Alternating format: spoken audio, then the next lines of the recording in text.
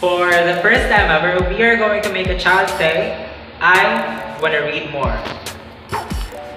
A worldwide study puts Filipino high school students at the bottom of the ladder in terms of reading comprehension. That's according to the Program for International Student Assessment, which showed Filipinos lagging behind 79 countries.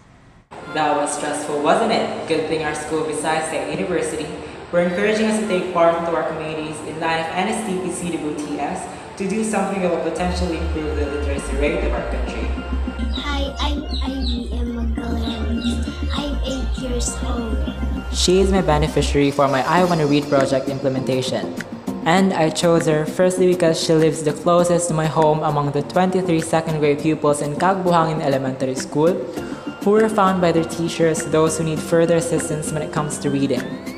Secondly, because of these.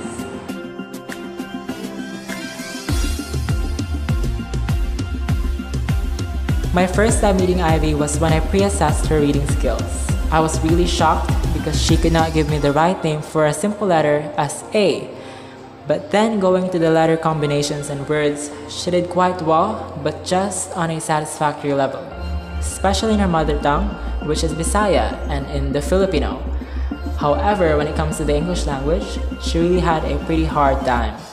After the pre-assessment, I knew to myself that this girl has so much potential, and unlocking such potential and her saying that she wants to read more are going to be the goals of this project.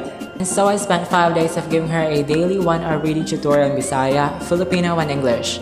And of course, there were challenges as firstly, I had to walk under the heat and rain just to get there. Umako nakadag payong so nakahulam kong payong nila. And secondly, I had to wear a mask in the entire session. And it made me insecure because mouth movement is essential in helping a child properly utter a letter, syllable, or word that are being taught to them.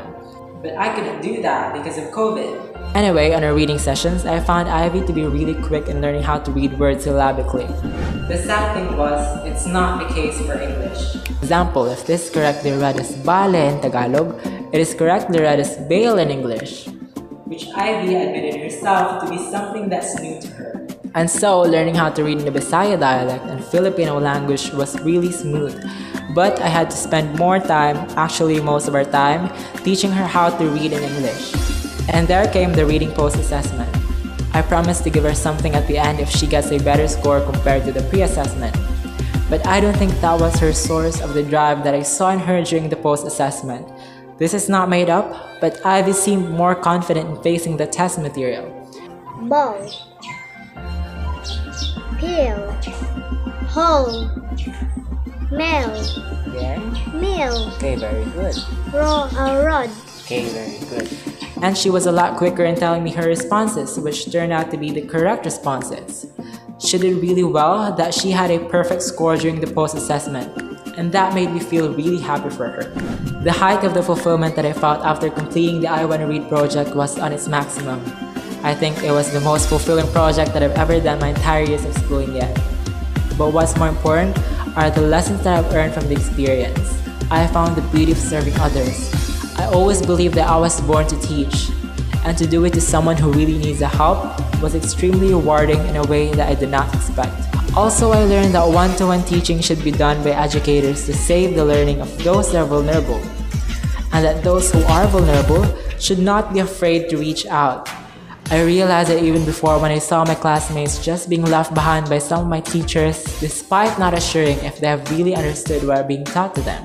And they would tell me to help them when I teach them. They would tell me, you know what, I didn't really understand the lesson, but thanks to you for giving me this one-to-one help. Considering the current literacy rate of many students in our country, I guess it is about time to maximize one-to-one methods in teaching. Because with what I saw in my beneficiary, it really helped her, and I guess more learners need help, so it should be done. And lastly, I learned that my heart really goes to doing it, to teach learners, inspire, and further build their lives. I saw it to be my purpose, and I could not wait to maximize it when I get to the actual teaching field. I wanna read more.